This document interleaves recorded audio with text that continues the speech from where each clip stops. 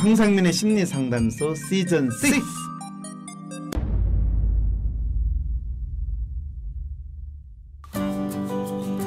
장미 대선이 열어줄 새 시대의 첫날 마음을 치료하는 곳이 없는 대한민국에서 누구에게나 열린 무료 마음의 진료소. 를 만들기 위한 황심소의 카카오 스토리 펀딩이 시작됩니다. 황심소에서 상담을 받은 수많은 청장년들 그들의 삶이 어떻게 변화되었는지 궁금하시죠? Before and after story 스토리 펀딩에서 대한민국에서 살아가는 청장년 그들의 황심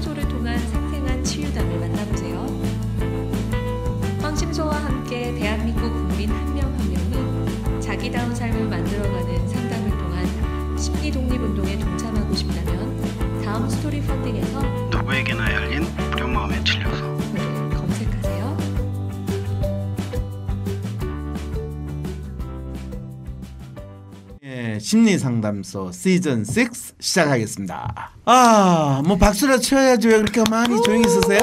네, 어 예. 순간 타이밍을 놓쳤습니다. 네, 그러시군요. 어, 오늘 나오신 분 누구시죠? 네, 안녕하세요. 이웃집 집사입니다. 이웃집 집사요. 아, 오늘 처음 나와셔가지고 철려가지고 뭐라고 이야기할지 모르겠죠. 네. 사실은 제가 이 시작합니다 해놓고 뭔가 멘트를 해야 되는데 오늘은 무슨 멘트를 할지 저도 멍해가지고 요즘에 돌아가는 상황을 보면 멍하다는 말밖에는 나올 수가 없어요. 자, 이웃집 집사 씨 옆에 계신 분 누구시죠? 네, 안녕하세요. 철도를 철도를 사랑하는 남자 철쌤입니다. 네, 철쌤 이웃집 집사분과 아 집에 고양이 키우세요? 네, 저희 두 마리 키웁니다. 몇 마리 키우세요? 저는 일단 한 마리. 한 마리 키우시고요.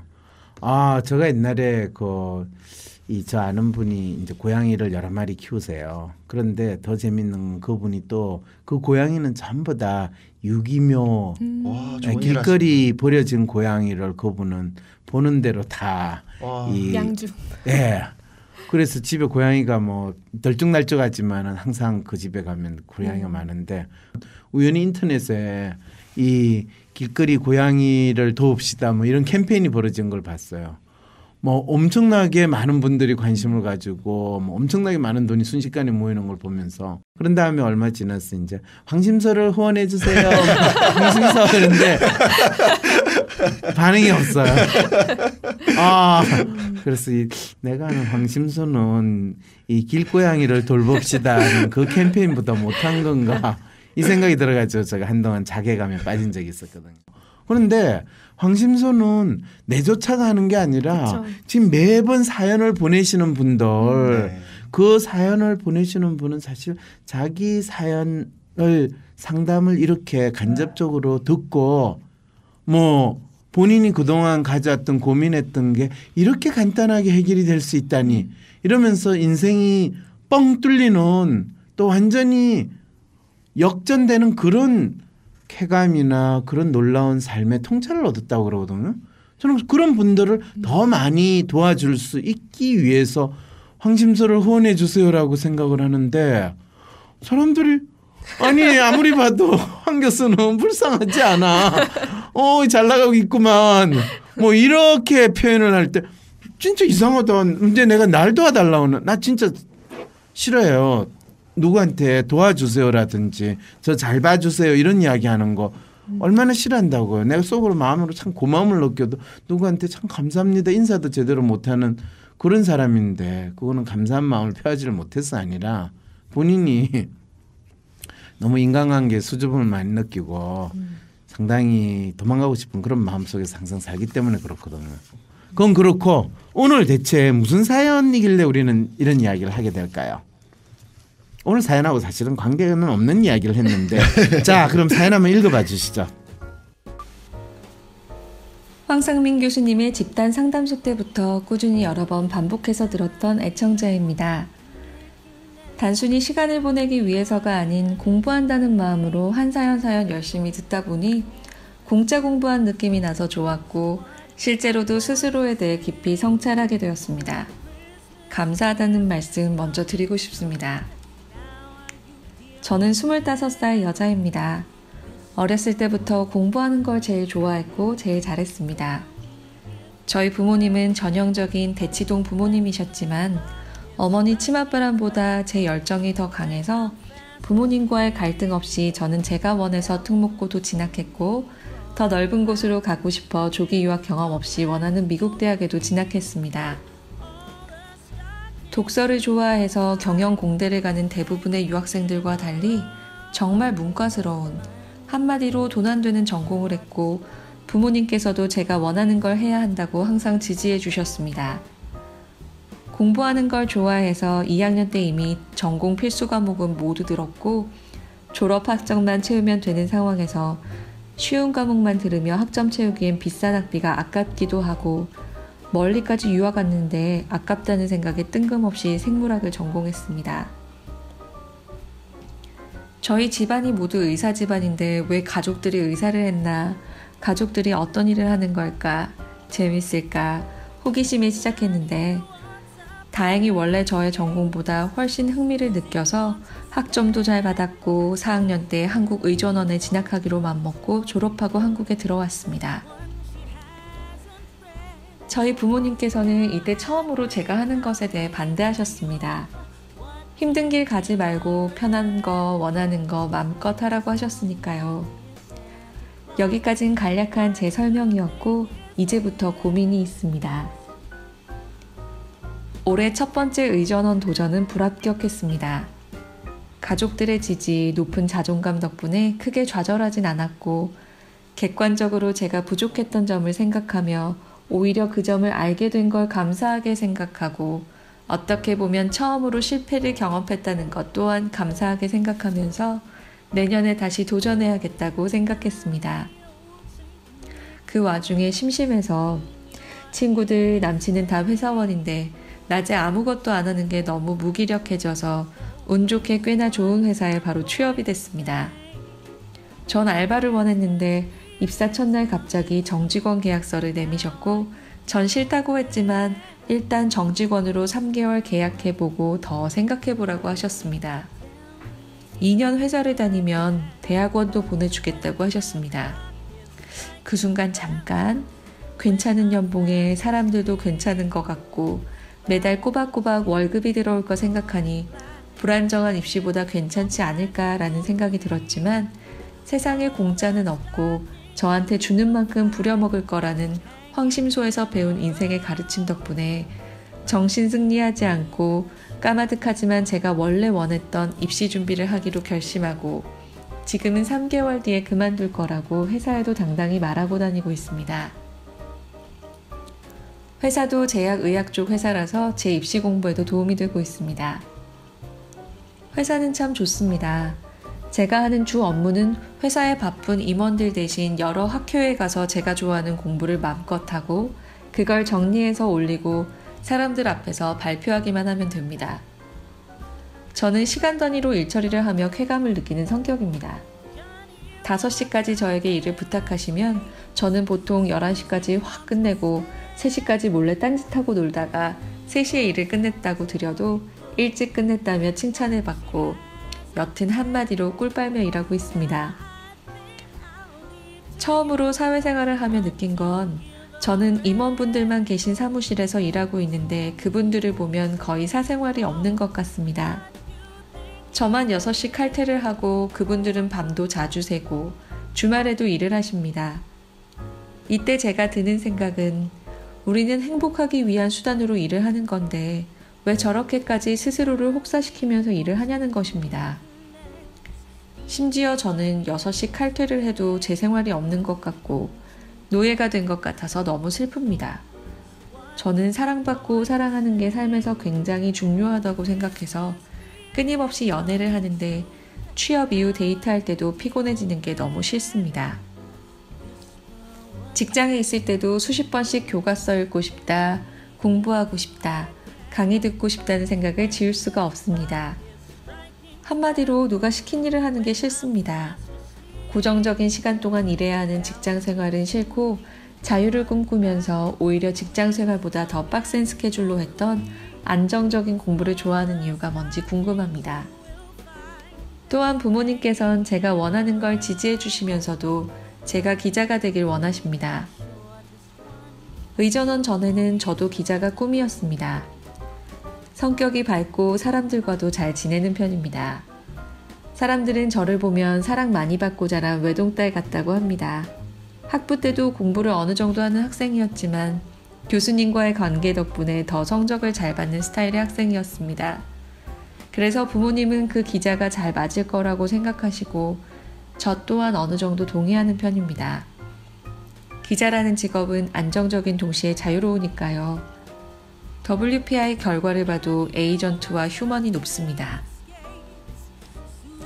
하루 종일 앉아서 생물 공부를 할 때도 행복하고 사람들 사이에서 웃고 떠들 때도 행복합니다. 생물 공부가 좋고 이미 10년째 해오고 있는 의료 봉사를 하며 사람들을 도울 때도 행복해서 이미 다시 의전원 재소하는 것으로 마음먹긴 했지만 제 성향과 맞는 게 뭔지 궁금합니다. 어떻게 보면 지금 직장이 제가 원하는 분야에 대한 공부를 하는 동시에 안정적으로 돈도 받는데 왜 만족하지 못하는지도 궁금합니다. 황심소의 전형적인 너도 모르는데 내가 어찌하니 사연이네요. 쓰고 보니. 네. 아. 이분 상담 사연 올라가면 또 댓글 엄청 달리겠네요. 이게 지금 상담이냐, 자기 자랑이냐. 놀랍지 않으세요? 그니까요. 25살밖에 안 됐는데 그러게요. 유학도 갔다 오고. 네. 그리고 그 회사가 외국계 의료 회사인 것 같아요. 음. 제약 의학 쪽 회사인데 왜냐면 국내 회사라면 이렇게 할 가능성이 거의 없는데 외국계는 상당히 특수한 종류의 회사 아니면 이런 임무를 맡기지도 않고 요청도 하지 않고 이렇게 사람을 확실하게 뭐 리크루트도 아니고 채용을 해서 쓰기가 쉽지 않아요. 어 그런데 뭐 이걸 상담을 해준다. 이분 고민이 뭔 것 같으세요?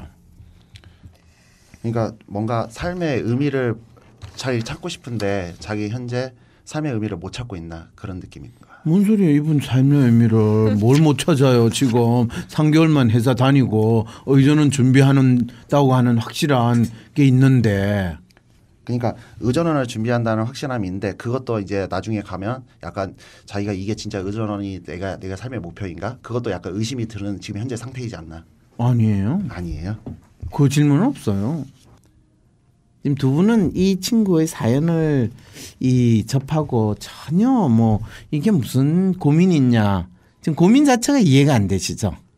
저는 좀 그런 생각이 들기는 했어요. 무슨 생각이요? 계속 공부하고 싶고 교과서 읽고 싶다고 막 이러잖아요. 네 그래서 뭔가 그런 계속 학생의 신분으로 있고 싶어 하는 게 조금 있지 않을까? 지금 참 이것도 한국적 사고예요. 공부하고 싶다라는 거, 교과서를 읽고 싶다라는 걸 학생의 신분으로 읽고 싶다. 그게 어떤 지적인 탐색이나 뭐 뭔가 진리를 찾아가고 싶고 내가 가지고 있는 뭔가를 안다는 즐거움을 누리고 싶다라고 표현하지 않고 학생의 신분 이렇게 이야기할 때 집사는 확실히 집사네요. 제 친구들 중에서는 그냥 뭔가 취업을 미루고 싶어서 대학원을 가거나 뭐 뭔가 더 계속 공부를 하고 이런 그렇죠. 많이 봤어요. 그렇죠. 그렇죠. 그러니까 공부는 사실 그냥 하나의 수단으로서 하기 위한 걸 공부라고 생각하는 그 생각 때문에 자연스럽게 그런 질문이 나오는데 이 학생에서의 공부라는 것은 본인이 가장 잘하고 좋아하는 일이고 또 너 그걸 왜 잘하고 좋아하냐 하면 자유롭게 저가 뭔가를 알아간다는 그 즐거움 누릴 수 있는 거잖아요. 제가 최고로 좋아하는 거 그 즐거움 마음껏 할 수 있는 거 아니잖아요. 하는 거잖아요. 그런 측면에서 사실은 이 친구가 공부를 하는 거니까 사실 이런 친구는 진짜 대단한 친구예요. 근데 휴머니스트가 이렇다는 거요. 아, 진짜 아, 에이전트니까 그것도 가능하구나. 휴머니스트하고 에이전트인데 relation이 만빵이거든요. 그러니까 이런 친구는 진짜 머리가 좋은 친구들이에요. 그리고 이런 친구들은요 오랫동안 몇 년 동안 시험 준비하는 방식은 좀 잘 안 맞아요. 그래서 사실은 의전 준비를 본인이 한 번 해서 실패했다 이제 다시 준비할 거라고 그러는데 과연 하게 될 것인가에 대해서 약간 퀘스천이 들어요. 황심소 심리 토크가 5월 28일 일요일 4시에 열립니다. 토크는 고통의 극복과 진로에 대한 황상민 박사의 이야기를 들은 후 같은 성격 유형별로 모여 앉아 비슷한 인간을 만나는 기쁨과 씁쓸함을 동시에 느끼며 자유롭게 이야기하는 시간으로 구성됩니다. 고민을 미리 글로 적어 셜록황 지메일로 보낸 참가자는 성격 유형별 자유토론 시간에 황상민 박사에게 직접 질문하고 조언과 자신이 누구인가에 대한 통찰을 얻을 수 있습니다. 심리 토크 신청은 황심소 카페, 페이스북, 팟빵 공지사항의 링크를 클릭해주세요. 황심소는 가장 힘들 때 내가 나의 손을 잡아주고 나의 가능성을 적극적으로 실현하려는 모든 청취자를 응원합니다.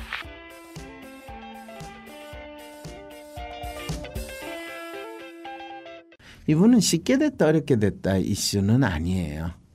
예. 그리고 어 진짜 본인이 문과 쪽 공부를 미국에 가서 했다. 미국의 학, 학부의 문과 쪽 공부를 이 영어가 이 모국어가 아닌 아이가 하는 거 그렇게 쉬운 거 아니에요. 그런데 2년 만에 상당히 전공 과목도 다 학점까지 따고 심심해서 생물학을 했다. 하, 이거는 지금 여러분들이 질문하는 것 자체는 너무나 완전히 다른 지금 공부에 대한 프레임으로 질문을 하고 있다는 생각이 사실은 들어요.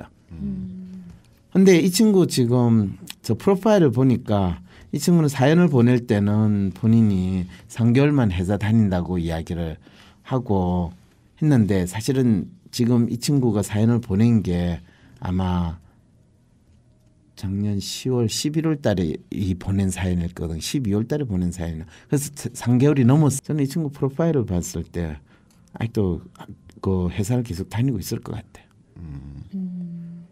근데 이 친구가 기자가 된다고 했는데 그래도 안정적인 부분은 그럴 수 있지만 한 가지 더 중요한 거는 자유롭지는 않아요. 네. 자유롭게 자기 생각을 표현하고 이 뭐 자기가 진짜 옳다고 믿는 것을 나타내는 그거는 아니에요. 아, 편집자가 원하는 그런 말을 그런 기사를 쏟아내기를 원하는 아, 그런 말인가요? 뭐 그렇게 이야기하면 그런 동네를 너무 나쁘게 표현하는데 뭔지 보이지 않는 이 목소리와 눈이 있는 것 같고 내가 그걸 따르지 않으면 내가 갈 길은 사표를 내는 것밖에 없다라는 그 조직의 분위기가 작동을 하고 있어요. 아, 그래서 결코 자유롭지 않아요. 어떻게 보면 대학 교수였던 날 보고 너무 자유롭게 말씀하시네요. 이런 이야기를 아주 자연스럽게 하는 그런 사람들이 기자였어요. 그래서 저는 대학 교수가 가장 자유롭다고 생각을 했는데 뭐 그런 자유조차도 허용이 안 되는 나라에 우리가 살고 있기 때문에 그래서 조직의 논리가 생각보다 많이 작동을 하고 조직의 논리는 하나의 조직이 아니라 다양한 조직의 논리와 뭐 어떤 이익과 목소리가 작동하는 곳이 지금 한국 사회에서 기자라는 직업이에요. 그런 측면에서 기자를 안 하는 것이 이분한테 하면 뭐 나쁜가요라고 하면 나쁘지는 않죠. 이분은 어쩌면 기자 생활을 조금 하다가 어 본인이 결국에는 정치를 하거나 아니면 그 반대로 너무너무 혐오감을 가져서 스스로 스스로 폐인될 위험성이 있어요. 그래서 아마 본인이 그 조직에서 적응을 못한다는 그 경험을 더 하게 되고 인간에 대한 환멸을 느낄 가능성이 높기 때문에 기자를 안 하시는 거는 제가 권하고 드리고 싶고요. 그리고 이분이 진짜 본인의 재능을 가장 잘 살릴 수 있는 길이 뭔가를 찾는데 나는 지금 회사에서 어 회사에 바쁜 임원을 대신해서 여러 학회에 가서 이 공부하고 학회 발표하는 상황을 요약 정리해 가지고 임원들한테 보고하고 이거는 최고의 학습의 기회고 돈까지 받아. 네. 와. 그리고 학회를 가면 이게 국내 학회도 갈 수 있고 해외 학회도 갈 수 있고 얼마나 좋아요. 거기다가 일도 11시면 끝내버리고 아, 그 일은 이 11시면 끝낸다는 의미가 다른 뜻이 아니고요. 본인이 이 딱 주면 대부분 사람들이 이제 이거 요약하고 정리해 줘, 주세요라고 하면 이걸 뭐 보통 하루나 이틀 걸릴 거라고 생각해요. 그런데 딱 보면 맘 잡고 하면 두서너 시간만 해치울 수 있거든요. 자기는 그냥 두세 시간 해치운다는 거야. 이분이 너- 너무 능력이 출중하니까 두세 시간 만에 해치우고 다른 사람들 다섯 시까지 기한을 줬는데 이, 이 기한이 다른 사람들은 한 다섯 시까지를 다 맞췄다는 거잖아요. 그렇죠. 네, 그러니까 이분이 엄청 능력이 출중하다는 또 그런 의미겠네요. 그거는 이분이 처음 사연부터 본인 능력이 네. 출중한 거 이야기를 했어요. 부럽습니다.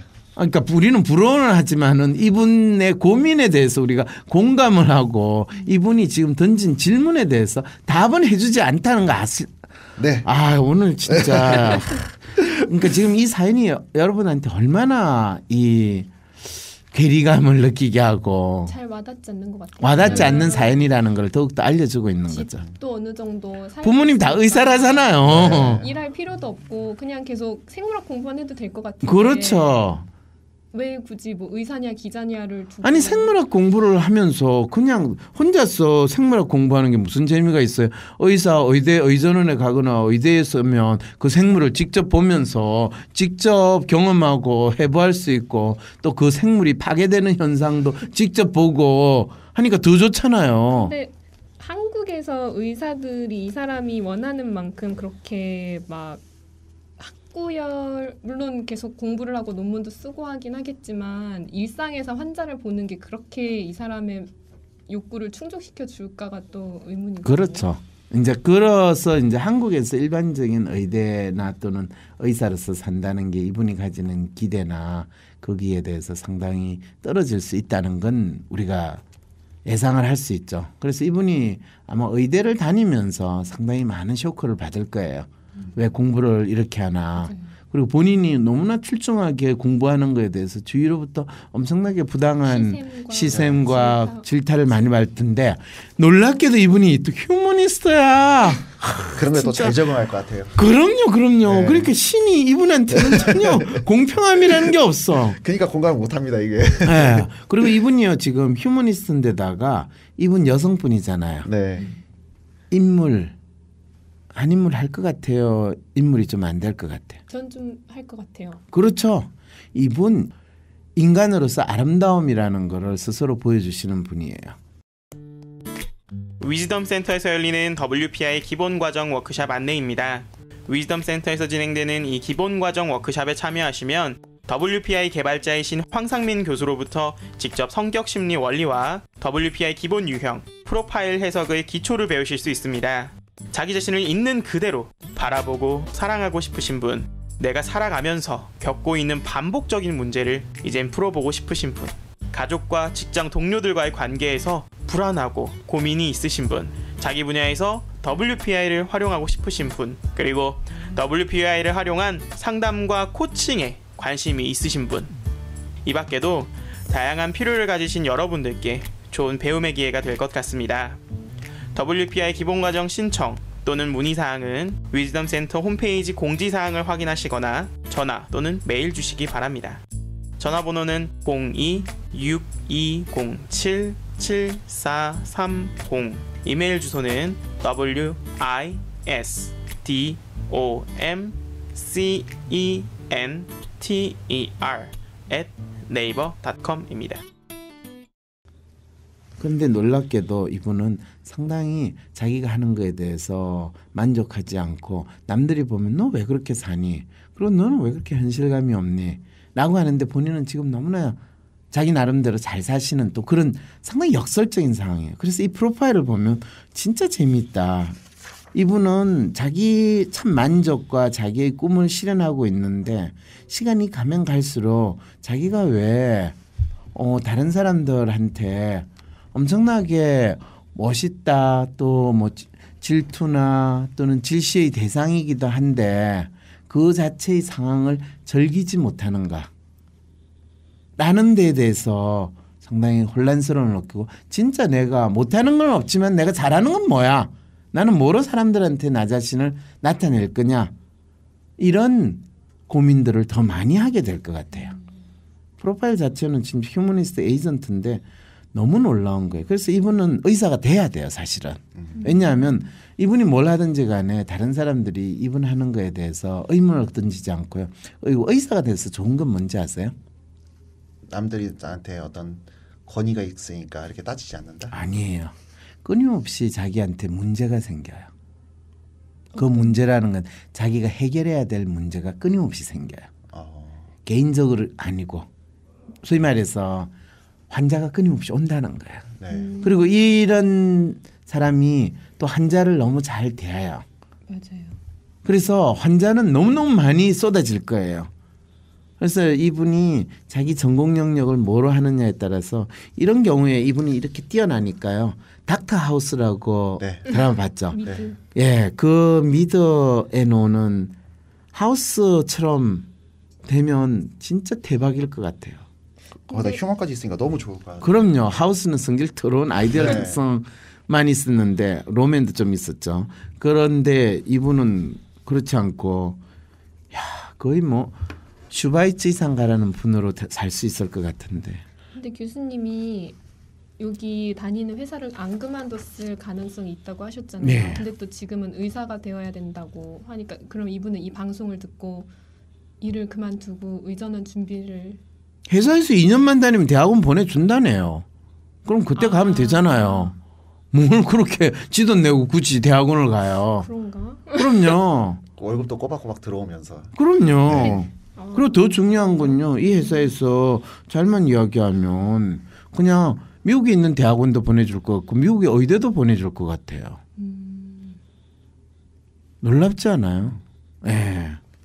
그렇기 때문에 이 친구는 이 회사를 한 2년 다니면서 지금 하는 거는 그냥 교과서 보는 공부보다 훨씬 더 프랙티컬한 공부고 전문가로부터 공부를 한다는 생각으로 가면 될 것 같아요. 그러면 이 사람이 약간 지금 사연 보내주신 분이 좀 자유롭게 살고 싶다 이런 말씀을 하지만 실제로 의사 생활이 이렇진 않잖아요. 그거는 극복이 그럴 때 이제 그 의사라는 직업은 뭘 이야기하냐면 우리가 생각하는 병원에서 환자만 보는 의사를 생각을 해요.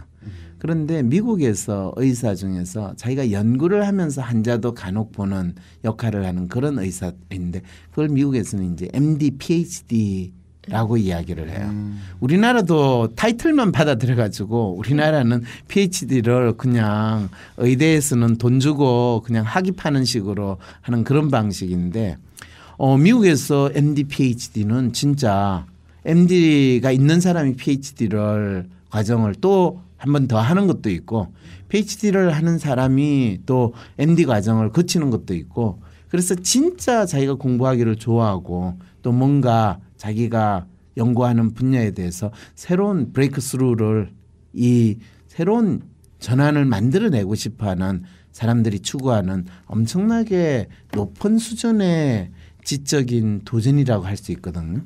이 친구는 그런 과정을 거쳐갈 수 있을 것 같아요. 그래서 내가 이해가 안 되는 게 왜 한국에 와서 의전을 가려고 했을까? 미국에서 그냥 생물학 PhD 하고 MD 과정을 가면 되는데 왜 그랬을까요? 그러니까 미국, 그러니까 한국 한국 한국에서도 이런 것을 충분히 할 수 있을 것 같다. 그러니까 한국에서도 PhD 하면서 이렇게 할 수 있을 거라는 막연한 생각. 역시 철새는 이 철만 생각하고 사람에 대해 생각을 하지 않아요.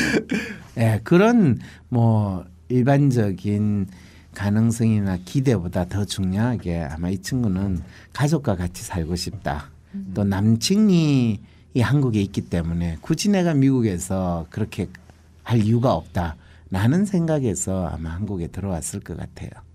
왜냐하면 자기가 뭐 좋아하는 의전의 의사를 하면 뭐 한국이나 미국이나 상관없지 뭐 이렇게 생각을 하고 했는데 아마 한국에 와가지고 의전을 가게 되면 뭐 가기 전에도 이런 어려움을 거친 거는 본인이 또 긍정적으로 어, 나에게 실패라는 것도 경험할 수 있구나. 어 나도 실패할 수 있는 사람이구나. 이런 걸 경험했다고 받아들이고 또 그 과정에 뭐 시험 준비하니까 너무 심심하니까 뭐 일이나 좀 해볼까 이러면서 또 이런 야 꿀 빨며 일하고 있습니다. 크. 이런 이야기를 할 수 있는 건 너무 부럽네요. 부럽죠. 왜? 우리는 한 번도 꿀 빨며 일한다는 생각을 못 하니까 꿀 빨리며 일하고 있어요. 이게 항상 우리가 가지는 기본 멘탈리티잖아. 네. 그래서 사실은 제가 이 사연을 선정을 했어요. 이 사연 선정하면 또 황심소 듣는 네. 청취자들을 엄청 또 욕할 거고 이게 사람들의 이 아픔을 뭐 위로하고 새로운 길을 찾아주는 방송이냐 누구 뭐 금수저 다이아몬드 수저들 뭐 지금 자랑하는 데냐 뭐 이런 이야기를 할까 싶은데 근데 교수님이 그런 이제 자랑할 것 같은 이야기 하고 싶은데 이런 얘기가 방송에 나가도 열심히 댓글에 달리더라고요. 뭐라고요? 그런, 그런 얘기가. 그러니까 너 이런 게 어떻게 사연이냐 이런 것이 끊임없이 그래도 계속 달려요. 그렇죠. 왜- 네. 예. 왜 그럴까요, 그거는? 그분들의 생각에서는 야, 이해를 이해를 못하는 것보다도 그냥 막상 부러우니까 배부른 사람이 어떻게 저런 얘기를 하나 그런 아. 거예요. 음, 그렇죠. 배부른 사람이 어떻게 자기가 사연이라고 그러고 고민하고 그러냐. 네. 왜냐하면 그분들은 사실 그런 댓글을 다시는 분들은요. 배만 불르면 세상에 문제가 없다 라고 생각하시는 분들이거든. 그러니까 항상 돈이면 모든 것이 다 해결될 거라는 그런 생각인가요? 그렇죠. 그런 분들을 이 정부에서는 뭐라고 그랬죠? 개, 개 돼지. 네. 그런 심리 상태로 사시는 상황이다 보니까 이런 이 금수저 다이아몬드 수저처럼 느끼는 사람들이 무슨 사연이냐라는 말이 아주 자연스럽게 나오게 되는 것. 아직도 그것이 우리의 삶의 고민이라는 것이 내 배만 부르면 문제가 없어질 거라고 믿는 생각을 하시는 분들이 그게 삶의 고민이고 배부르니까 저런 소리 한다라고 생각하는 그 심리 상태에 벗어나지 못한 상황에서 이 사연을 다른 사람의 사연을 보는 사람은요 결코 다른 사람의 사연에 대해서 관심을 기울이지 않아요. 근데 그게 엄청난 통념 속에서 갇혀 살더라고요. 이게 아무리 얘기를 하더라도 젊은 학생 같은 대학생 같은 경우도 이런 생각이 너무 자연스럽게 얘기를 하고. 왜냐하면 개 돼지로 살도록 양육을 됐잖아요. 네. 예. 자기가 이제 그렇게 양육돼 가지고 난 꿀꿀 멍멍이라고 생각하고 사는 젊은이한테 얘야 너 꿀꿀이 아니야 너 멍멍이 아니야 라는 이야기를 꿀꿀 멍멍 이것밖에 이야기를 못하는 이미 상태가 돼버린 거예요. 네. 그 만화 영화 있잖아요. 센거 치료의 행방불명. 거기 보면 막 음식을 탐하다 보면 어느 순간에 꿀꿀이가 돼 네. 있잖아요. 네. 돈을 탐하고 안정적인 직장을 탐하고 또 그것이 잘 사는 거라고 믿고 그냥 학교를 다니고 학원만 다니면 그게 언젠가 내 손에 떨어질 거라고 생각하는 우리 모두는 어느 순간에 꿀꿀이가 되고 멍멍이가 돼버린 그 상황에 처한 거죠.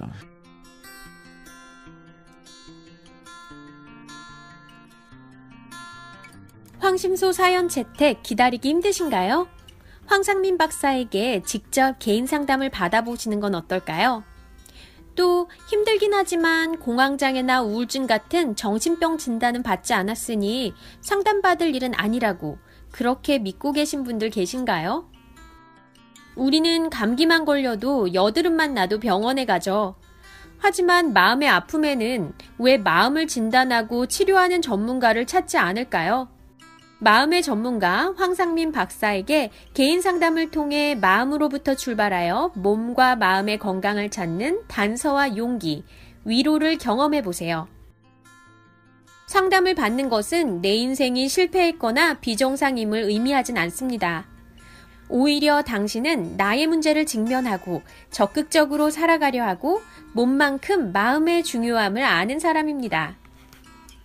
이제 삽질을 그만두고 싶으신 분, 위즈덤 센터로 개인 상담 신청을 하세요. 당신의 삶을 바꿀 통찰을 얻는 기회가 만들어집니다. 개인 상담 문의는 02-6207-7430으로 전화 주세요.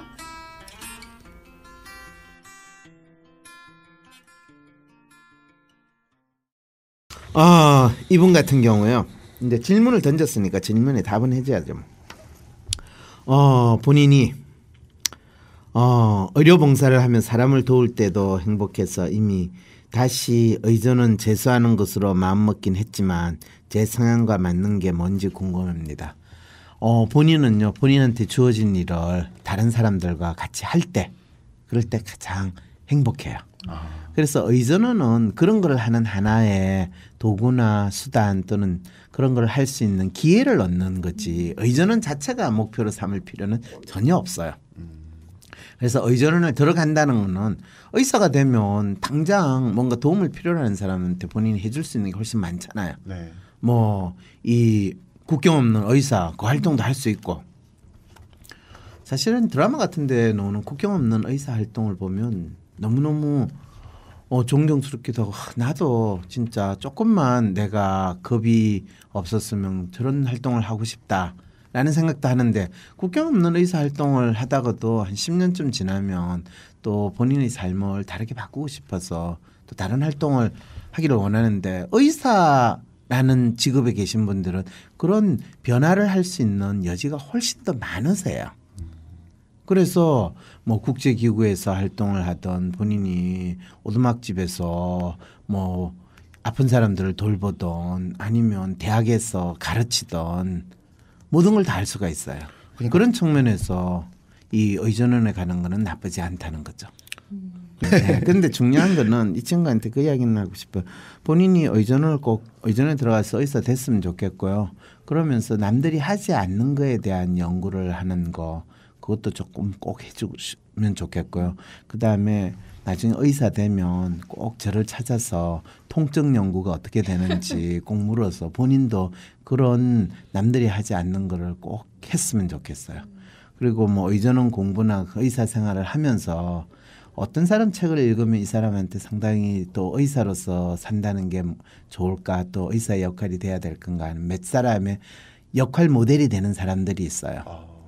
어, 내 머릿속에 떠오르는 이름이 아툴 가완디라는 하버드 medical school에 있는 의사 그리고 보건대학원 이 보스턴에 있는 general hospital이라는 이 병원의 의사이기도 한데요. 그 사람 이 아툴 가완디는 진짜 대단한 뭐 글을 잘 쓰는 능력도 있지만은 자기가 하는 분야에 대한 통찰 그 다음에 그런 부분이 아주 뛰어난 사람인 것 같아요. 저도 그 사람 쓴 책을 읽으면 상당히 감동을 했는데 난 내 분야에서 이 사람의 반은 그냥 10분의 1도 못 쫓아가는구나 해서 상당히 자괴감을 느끼게 만든 사람이에요. 그 다음에 또 영국 의사가 쓴 책이 있는데 하, 그 사람 책 제목이 뭐더라? 뭐죠? 아, 참 괜찮은 죽음이요. 아 참 괜찮은 죽음 맞아요. 헨리 마르시. 마시라는 사람인데요. 아 그분의 책을 제가 읽으면서도 참 아, 의사로 사는 것이 참 힘들지만 이런 어 느낌이 있구나. 뭐 그 말도 안 되는 의료 행정 체계 속에서 그 사람이 자기 나름대로 의사로서 환자와의 관계를 유지하고 환자를 치료하려고 한다는 그 인간성을 보여주는 어 그 글을 읽으면서 하, 내가 봤던 한국에서 돈만 밝히는 그런 의사하고 다른 의사들이 이 세상에 어딘가 있구나라는 희망을 느꼈거든요. 그래서 참 괜찮은 죽음 뭐 이런 거. 그러니까 죽음이라니까 그걸 읽고 싶은. 나도 처음에 어, 죽음에 대한 이야기인가 이런 생각을 했는데 아니라 그냥 한 의사로서의 자신의 삶에 대한 담담한 뭐 수기 같은 그런 책이었어요. 그 책이 상당히 또 나름대로 저한테는 의미가 있었는데 이 친구가 그 책을 읽을 수 있으면 참 좋겠어요. 자 그리고 이제 어.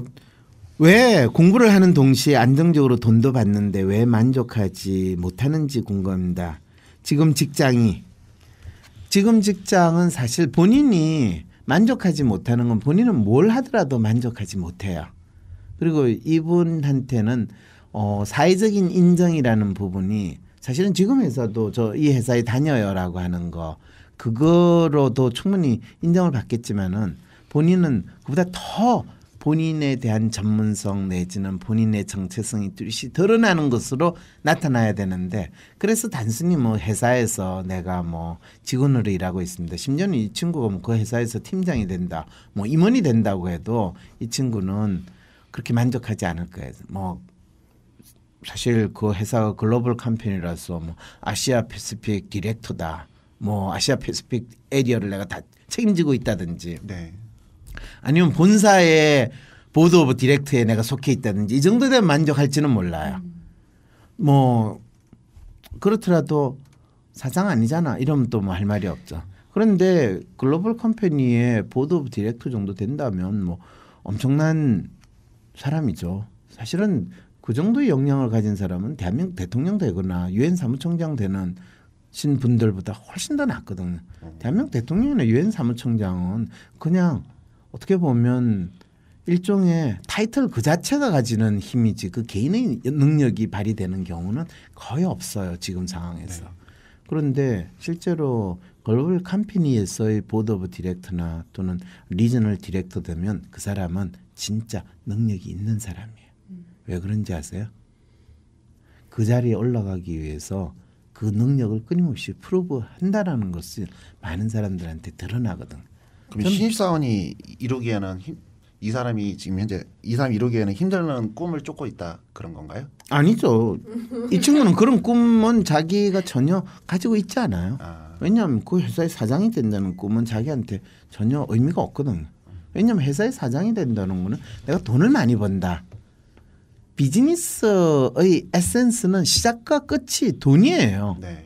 그래서 신입사원에 100배, 1000배의 돈을 벌고 또 뭐 보너스로 가지고 천만 불, 억불 뭐 이렇게 번다라고 하는 것이 비즈니스 세계에서 이 궁극적인 목적이기 때문에 이 친구는 돈을 번다라는 건 이 친구의 삶에 있어 별로 크게 중요하지 않은 가치거든. 그러니까 지금 두 분은 전혀 이 친구의 고민이 전혀 안 다가오고 이게 무슨 달나라 이야기인지 지구인의 고민 사연으로는 들리지 않을 거예요.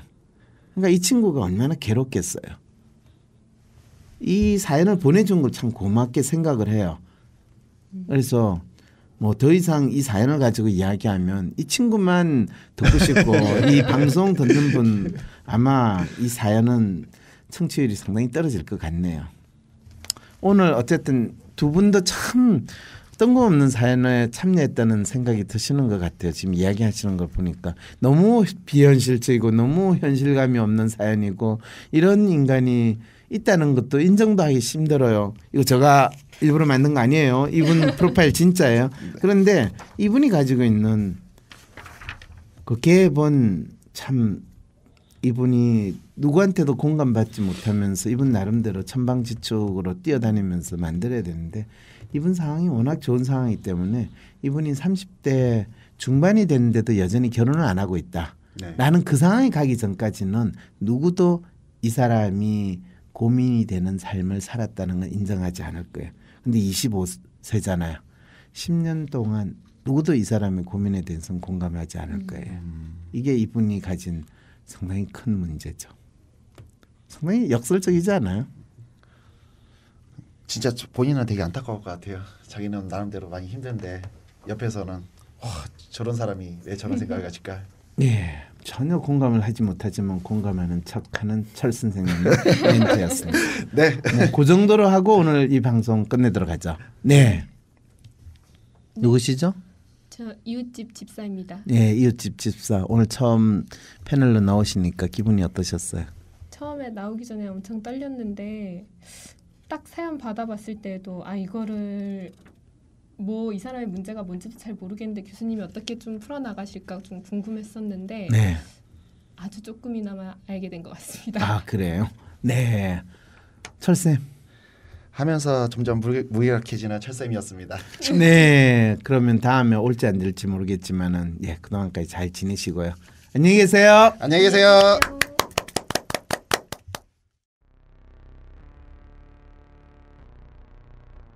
헬조선에서의 심리 독립을 돕는 방송 황심소입니다.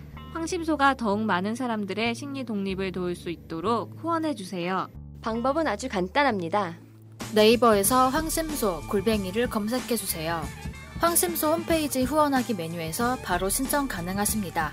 여러분, 팟빵 말고 황심소 홈페이지에서 꼭 후원해 주세요.